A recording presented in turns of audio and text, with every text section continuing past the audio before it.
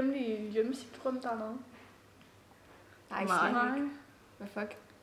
Jamen, der er bare mange, der siger, at den er hjemmesøgt. What? Skal vi tjekke det ud efter fordybelse?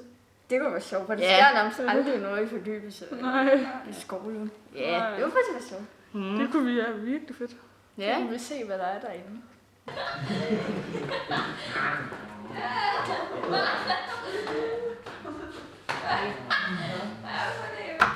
Fucking roast. Mm. Shit, mand.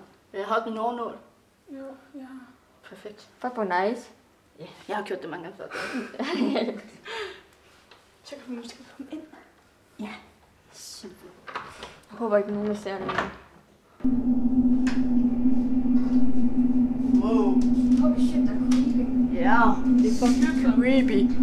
Jeg tror, at...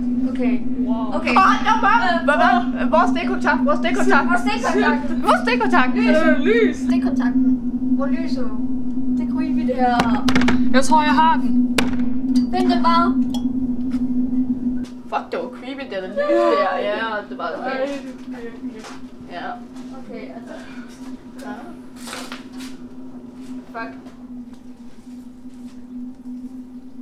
Piger. For hvad, hvad er det her? Altså, det her, er det ikke det der spil? Det ser så creepy ud. What the det, fuck? Skal vi, skal vi ikke prøve det ud? Altså, eller? Jo, Jo. hvorfor ikke? Er det ikke sådan noget, hvor man leger med ånder? Ja. skal, skal vi ikke prøve den her? Jamen, hvis vi skal spille det der, skal vi så ikke have et glas eller sådan noget? Nå ja, der har jeg hørt om, man skal bruge glas, har jeg hørt om. Jo, jeg kan godt prøve at finde glasset, hvis det er. Nå, okay. Fint nok. Altså, hvor er der overhovedet glas? Er der ikke Ja, glas? jeg kan, jeg kan overhovedet ikke glas hernede egentlig. My god. Ja. Men Sandra, vil du ikke have den her kyrebror? For jeg har ikke lyst til at holde den. Det kan jeg da godt. Er der nogen af jer, der har fundet glas? Jeg tror, jeg har fundet et.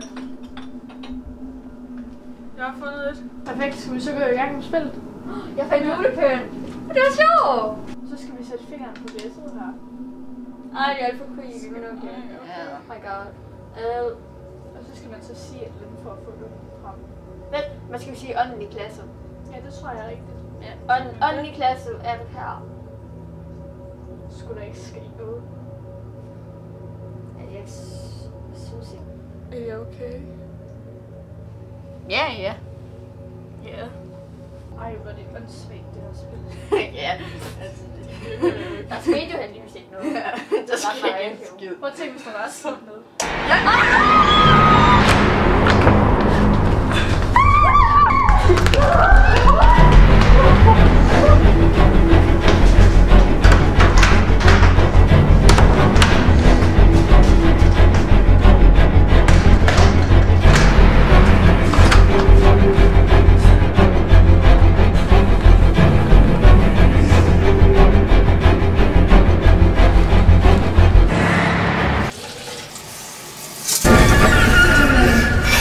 sgu noget lort. Det er noget billigt Hvad skal man bruge det til?